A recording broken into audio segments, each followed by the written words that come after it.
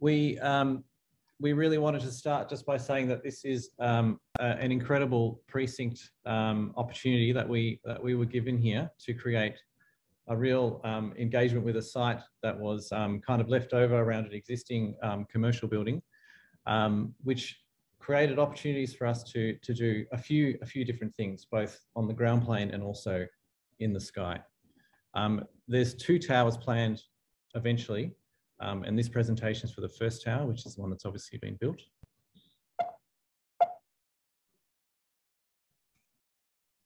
Um, it's a collaboration between Fender Katsalidis and Cox Architecture. We were more than delighted to work with Cox. We, we both share very similar um, similar ideas and, and themes around um, what we do with our buildings. Um, we, we love working um, together um, and we had an incredible um, time working on this one together.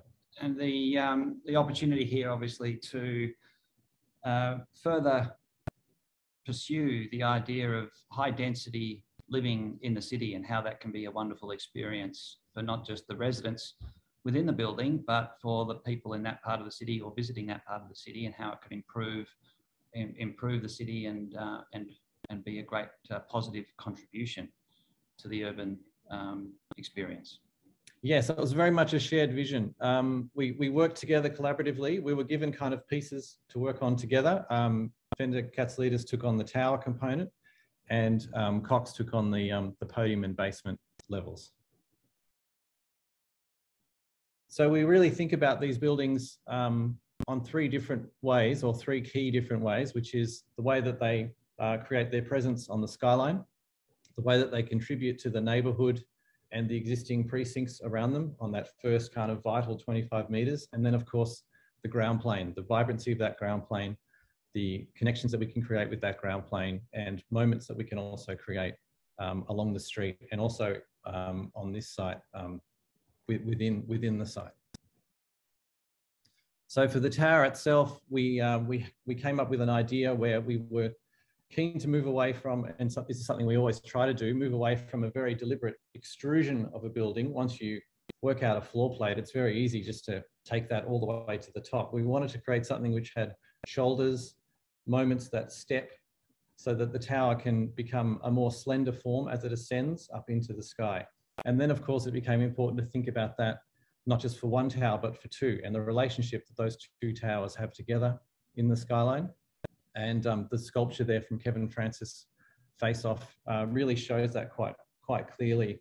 Uh, all about that public realm, about um, creating a precinct that knits itself back into the city so that the, the we've got a large site. Um, that site before was completely closed off. Now it has laneways and life and activity running all the way through it. So uh, that is we see as benefit to the city, and that can be achieved because we have a yield above to pay for it, really. Then um, those apartments above um, provide a, a, population for activating that lower ground um, areas. So there's a, a ready-made population that can, can use the cafes and can use the amenities um, on those lower levels, as well as benefiting those that don't just live in the building. Um, but then for those that live in the building, it's about providing little moments um, beyond just a wonderful apartment with great views. They also get areas to meet their neighbours and socialise and have larger groups.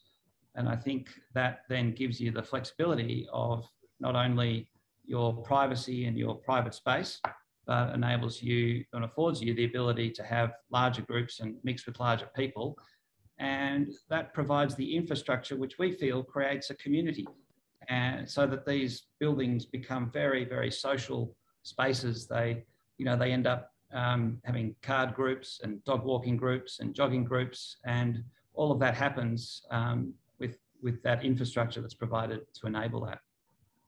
Just with the communal facilities was the design team involved in developing that brief in terms of the nature and character of those spaces yeah, very, very much so. So um, the first is just how much you should have, and there's a lot of experience with towers that we had before about the appropriate sort of square meter or number of amenities that you might have, but also the opportunities in um, in providing some of those amenities at higher levels, up on level 51 and 52, which you can just see is that sort of second step from the top in this image, um, that even if you have an apartment which is perhaps lower down with restricted views, um, you can still use those upper levels and um, and, and partake of those mm. of those great views. And I think um, it was about you know research done in the buildings that have been um, completed before this about what amenities were really used, what were the popular ones, and um, and then using that information and talking with the client and putting that into into this building. Yeah. Uh, some of them came from the client brief as well. They were particularly keen to include a, a mahjong room, um, which we have in the podium. Um, and um, some of the key ideas too um, for the interiors were developed with um, with Hecker Guthrie, we should mention oh, as well, as part of yep. the, the team. Yes. Sure. Uh, and Gary Emery did the signage and, um, and, and some of the branding as well, which mm. you'll see on the site, which was an, an awesome experience, one of, one of Gary's last projects.